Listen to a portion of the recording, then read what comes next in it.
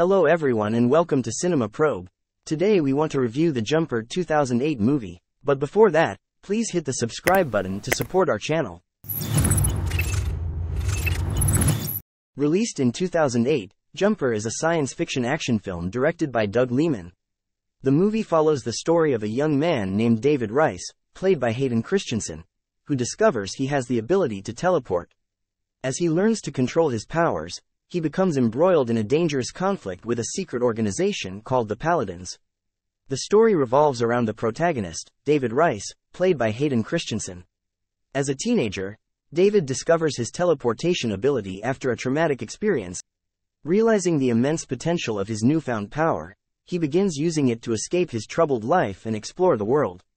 However, David soon discovers that he is not the only one with this extraordinary gift. He encounters another jumper named Griffin, portrayed by Jamie Bell, who warns him of a secret organization known as the Paladins. The Paladins are a group of religious zealots dedicated to eradicating jumpers, believing their powers to be an affront to God. With the help of Griffin, David learns about the ongoing battle between jumpers and paladins. David's life takes a turn when he reconnects with his childhood sweetheart, Millie, portrayed by Rachel Bilson. Their reunion is short lived, as the leader of Paladin, played by Samuel L., plans to arrest David and tries to use Millie as bait to lure him out.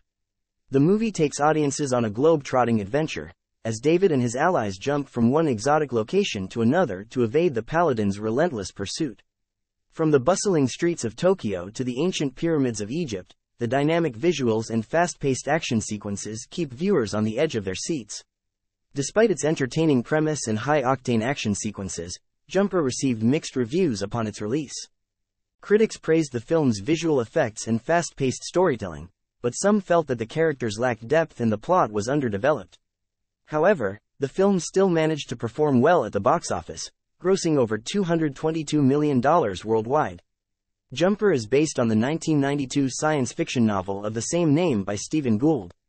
The film adaptation takes some liberties with the source material but still captures the essence of the story.